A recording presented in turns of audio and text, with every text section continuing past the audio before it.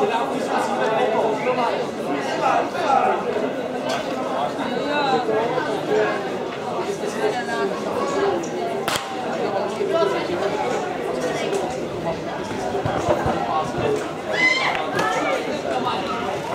já bych poprosil někoho z technické čety, obslužní personál, rozhodčím kolem dráhy, už na nás zase.